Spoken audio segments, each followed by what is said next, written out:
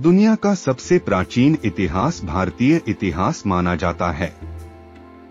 और उसी इतिहास से प्राप्त बहुत से ऐतिहासिक स्थल, स्मारक तथा इमारतें हमें विरासत में मिली है। उन्हीं में से एक है सांची का स्तूप, जो एक बौद्ध स्मारक है। यह तीसरी शताब्दी ईसा पूर्व से बारहवीं शताब्दी के बीच के हैं। यह स्तूप आज के समय में एक प्रसिद्ध पर्यटक स्थल है, जो भोपाल शहर से लगभग 46 किलोमीटर दूर सांची गाँव में स्थित है यहाँ पर तीन स्तूप हैं और ये देश के सर्वाधिक संरक्षित स्तूपों में से एक हैं। इसकी ऊंचाई लगभग 16.4 मीटर है और इसका व्यास 36.5 मीटर है सांची के स्तूप की संरचना और शिल्पकारिता को देखते हुए इसे उन्नीस सौ नवासी में यूनेस्को की विश्व विरासत स्थल सूची में भी शामिल किया जा चुका है। आखिर होता क्या है स्तूप? दरअसल स्तूप पवित्र बौद्ध स्थल होते हैं, जिन्हें चैत्य भी कहा जाता है। इनका उपयोग पवित्र बौद्ध अवशेषों को रखने के लिए किया जाता है, और वहाँ पर भगवान गौतम बुद्ध की आराधना की जाती है। सांची के स्तूपों का निर्माण कई कालखंडों में हुआ है, जिसे ईसा पूर्व तीसरी सदी से बारहवीं सदी के मध्य में माना गया है। ईसा पूर्व चार सौ तिरासी में जब गौतम बुद्ध ने देह त्याग किया तो उनके शरीर के अवशेषों पर अधिकार जमाने के लिए उनके अनुयायी राजा आपस में लड़ने झगड़ने लगे। अंत में एक बौद्ध संत ने समझा बुझाकर उनके शरीर के अवशेषों के हिस्सों को उनमें वितरित कर समाधान किया। इन्हें लेकर आरंभ में आठ स्तूपों का निर्माण हुआ और इस प्रकार गौतम बुद्ध के निर्वाण के बाद बौद्ध धर्म का प्रचार प्रसार इन स्तूपों को प्रतीक मानकर होने लगा। सांची के स्तूप दूर से देखने में भले ही मामूली अर्धगोलाकार संरचनाएँ लगती हैं, लेकिन इनकी भव्यता विशिष्टता एवं कलात्मक बारीकियाँ सांची आकर देखने पर ही पता चलती है।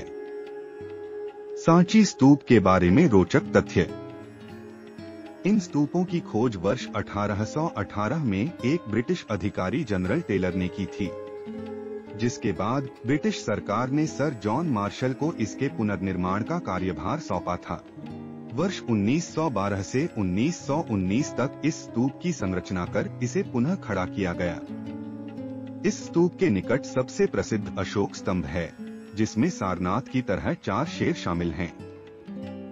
साथ ही यहाँ बड़ी संख्या में ब्राह्मी लिपि के शिलालेख पाए गए हैं। सर जॉन मार्शल ने वर्ष 1919 में इसे संरक्षित रखने के लिए एक पुरातात्विक संग्रहालय की स्थापना की, जिसे बाद में सांची पुरातत्व संग्रहालय में परिवर्तित कर दिया गया। सांची नामक स्थान का गौतम बुद्ध द्वारा कभी भी दौरा नहीं किया गया था, भले ही आज इस स्थान पर बौद्ध धर्म का अपना एक ऐतिहासिक महत्व हो। इस स्तूप का निर्माण बौद्ध अध्ययन और बौद्ध शिक्षाओं को सिखाने के लिए किया गया था। सांची स्तूप का इतिहास। इस ऐतिहासिक स्तूप का निर्माण मौर्य साम्राज्य के प्रसिद्ध शासक अशोक द्वारा तीसरी शताब्दी ईसा पूर्व में किया गया था। इसके केंद्र में एक अर्धगोलाकार ईंटों द्वारा निर्मित ढांचा था, जिसमें भगवान बुद्ध के कुछ अवशेष रखे गए। इसके शिखर पर स्मारक को दिए गए ऊँचे सम्मान का प्रतीक रूपी एक छत्र था। इसका निर्माण कार्य सम्राट अशोक की पत्नी महादेवी साक्य कुमारी को सौंपा गया था, जो विदिशा के व्यापारी की ही बेटी थी। सांची उनका जन्म स्थान और उनके और सम्राट अशोक के विवाह का स्थान भी था। ये स्तूप प्रेम, शांति, विश्वास और साहस के प्रतीक हैं। इस स्तूप को पहले ईंटों से बनवाया गया था, जिसे शुंग काल के दौरान पत्थरों से ढक दिया गया था। इस स्तूप में तोरण द्वारों और कटघरों का निर्माण सातवाहन काल में किया गया था, जिन्हें सुंदर रंगों से रंगा गया था। माना जाता है कि द्वार पर बनाई गई कलाकृतियाँ और द्वारों के आकार को सातवाहन राजा सातकर्णी ने ही निर्धारित किया था।